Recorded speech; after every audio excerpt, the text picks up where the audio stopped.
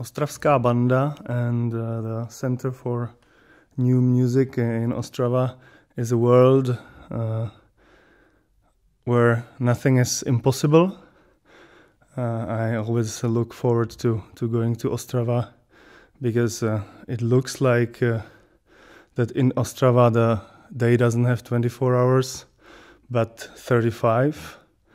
I think uh, nowhere else than in Ostrava during this great festivals they organize, uh, it is possible to play three rehearsals, two general rehearsals, and two concerts, which we all experience uh, in the uh, in the process and during the the, the concert series. Uh, but of course, uh, for me and I think for the other players and members of Ost- Ostravská Banda, uh, it is joy throughout the pure joy throughout the whole event. Uh, of course, uh, we have a fantastic background uh, by all the people that organize this event, and to be certain, will organize the event for quite a long time ahead.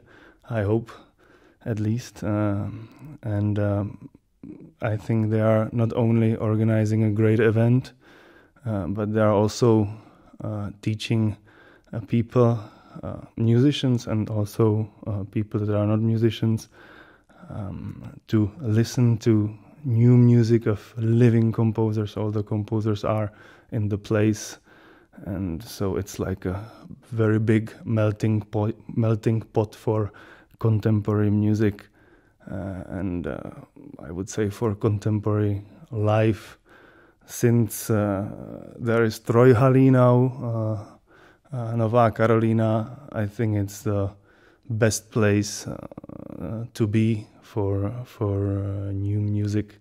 So I'm really happy to be able to contribute with a small solo recording, Uh, which is a fantasy by Jörg Widmann. Uh, who is a very good composer and uh, amazing clarinet player.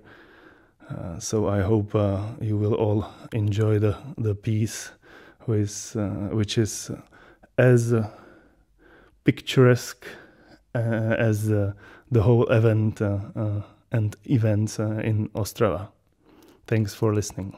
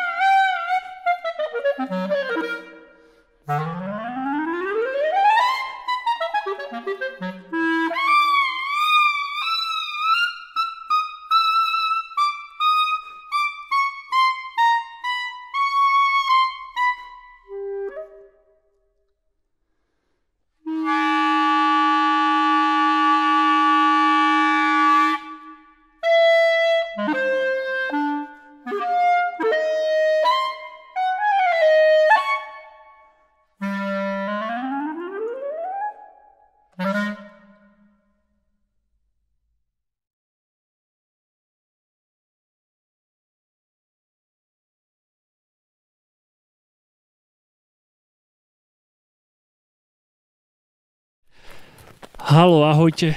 Sme v Hornej Marikovej v osade Hašov. Je rok 2020.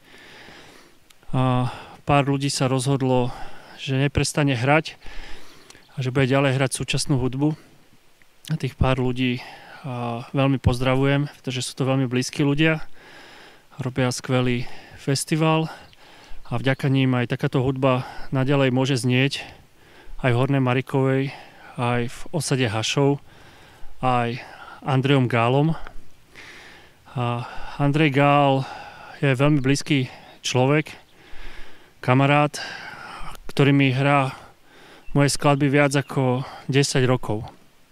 Spoznali sme sa ešte na škole v Bratislave a odtedy a,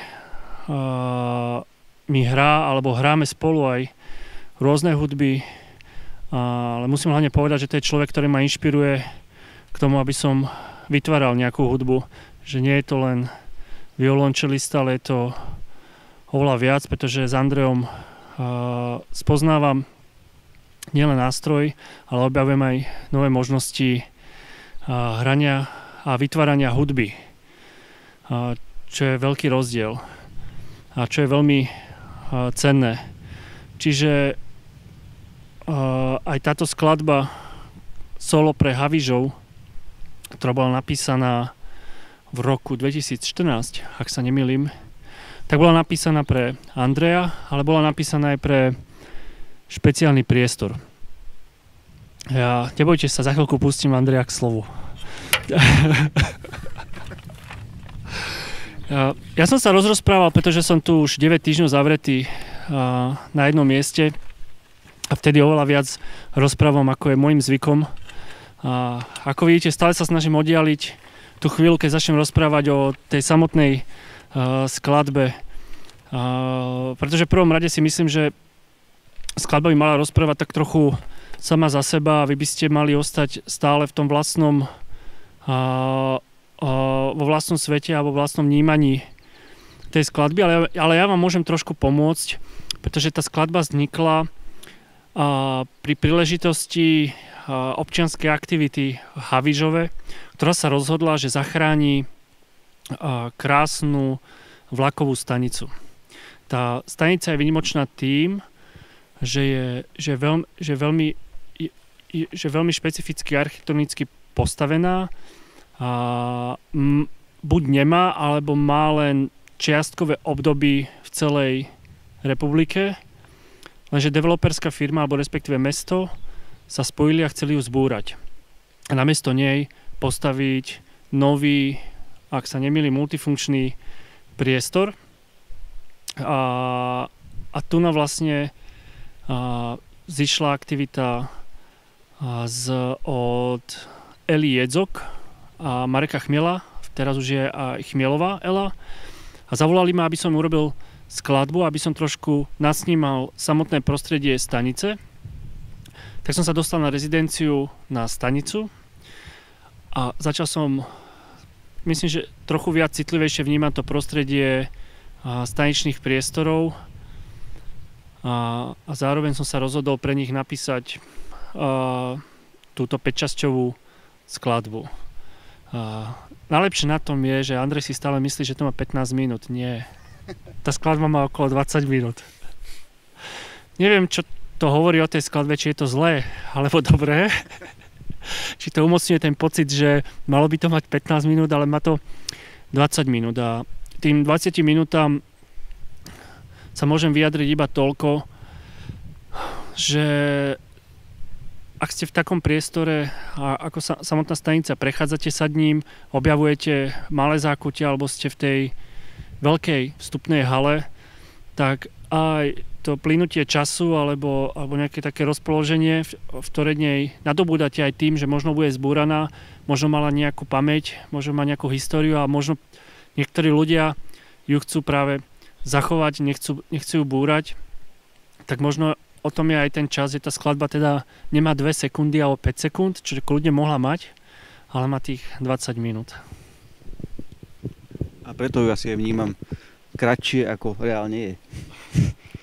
Ja som veľmi ďačný, Miro mi už v podstate odkedy sa poznáme napísal, koľka tá je to solovka? Myslím, že štvrtá alebo piatá. Pri štvrtej alebo piatej som to prestal rátať. Presne tak. Pamätám si, že keď sme sa prvýkrát stretli, prišiel za mnou na VŠMU keď ja už som pôsobil dlhšie na scéne a prišiel tak za mnou, ako, že či by som nemohol niečo zahrať. Ja som bol veľmi rád, pretože keď vás osloví skladateľ a chce pre vás niečo napísať, tak to je vždy fantastické. No a odtedy vlastne sme začali spolupracovať a táto verzia Havižova je navyše trošku iná aj tým, že je v prírode, ale aj tým, že e, postupom času, jak sme skladbu vylepšovali, respektíve menili sme ju, lebo časom človek mení názor samozrejme. Tak e, toto je verzia, ktorá je bez elektroniky, pretože skladba odoznela vlastne pred rokom v Ostrave vo verzii s elektronikou, interaktívnou elektronikou, ktorú vlastne obsluhuje Miro. Takže tak ako sa korona vracia naspäť k prírode, tak my sme sa vrátili do prírody a dávame prírodnú verziu Havíšova, povedz ešte. Áno, je, je, to, je, to, je to pravdivé, ale nie sme tu sami je, je tu potok, je tu vietor, a sú tu stromy, je tu, je tu cerka Natália. A hlavne by som vám chcel ešte predstaviť dvoch psov, ktorí sa zúčastňovali na dnešnej nahrávke. Nemôžeme ich mena zabudnúť. Jeden pes je vlčia Grita a druhý pes je miešaný, bližšie neidentifikovateľný pes Dunčo. Tak... Myslím, že to stačí na úvod. Poďme si teraz zahrať samotnú skladbu. Tak, majte príjemný posluch a posielame pozdravy. Čaute.